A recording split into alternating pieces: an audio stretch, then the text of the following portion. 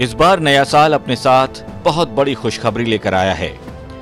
राजस्थान समेत देश भर में कोरोना वैक्सीन लगाए जाने की शुरुआत बस होने ही वाली है। प्रदेश के चौसठ हज़ार हेल्थ सेंटर्स पर तीन करोड़ टीके सुरक्षित रखने का इंतज़ाम किया जा चुका है। टीके लगाने की भी तैयारियाँ पूरी कर ली गई हैं। नए साल के पहले ही दिन केंद्र सरकार की विशेषज्ञ समिति ने कोरोना वैक्सीन कोविड शील्ड के आपात इस्तेमाल की सिफारिश कर दी है। वैक्सीन रेडी हो चुकी है। पहले फ़ेज़ में ही राजस्थान के एक करोड़ पैंसठ लाख लोगों को ये वैक्सीन लगाई जाएगी। सारी तैयारियाँ हो चुकी हैं, बस वैक्सीन पहुँचने भर की देर है। राजधानी जयपुर से लेकर सभी जिला स्तर तक कोरोना वैक्सीन के वायल रखने के लिए फ्रीजर सेंटर बनाए जा चुके हैं। बूथ स्तर पर वैक्सीन कैसे लगाई जानी है, इसका चार्ट भी तैयार हो चुका है। किस टेम्परेचर पर कितनी वैक्सीन रखी जानी है, इसकी भी पूरी प्लानिंग हो रही है। राजस्थान में जयपुर, जोधपुर और उदयपुर में ही स्पेशल वैक्सीन सेंटर बनाए जाएँगे। यहीं से प्रदेश के बाकी जिलों में वैक्सीन की सप्लाई की जाएगी। 2.6 ml की वाइल वाली वैक्सीन के तीन करोड़ वाइल रखने का सरकार ने इंतज़ाम किया है।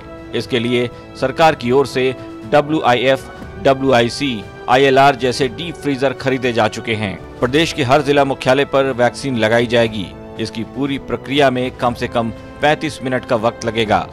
मेडिकल कॉलेज, जिला अस्पताल, सैटेलाइट अस्पतालों में भी वैक्सीनेशन का काम होगा। वैक्सीन लगाने का काम काफ़ी सावधानी के साथ किया जाएगा, ताकि अगर किसी को इसका साइड इफ़ेक्ट हो तो फ़ौरन पता चल सके। प्रदेश के कई बड़े निजी अस्पतालों के स्टाफ को वैक्सीन लगाने के काम में लगाया जाएगा।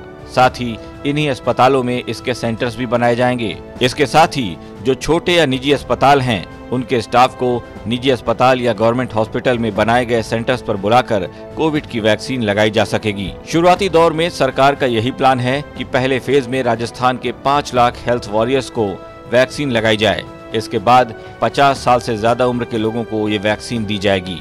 कोरोना वैक्सीन लगाने का प्री वर्क लगभग पूरा हो चुका है और वैक्सीन के आते ही इसके लगाने की प्रक्रिया भी शुरू हो जाएगी।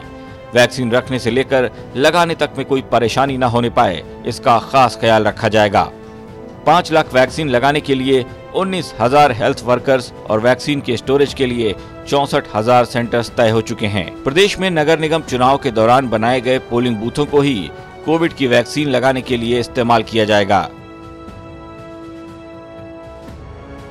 एक बूथ पर पंद्रह कर्मचारियों की ड्यूटी लगाई जाएगी।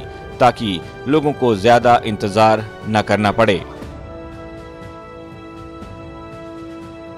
ब्यूरो रिपोर्ट राजस्थान तक।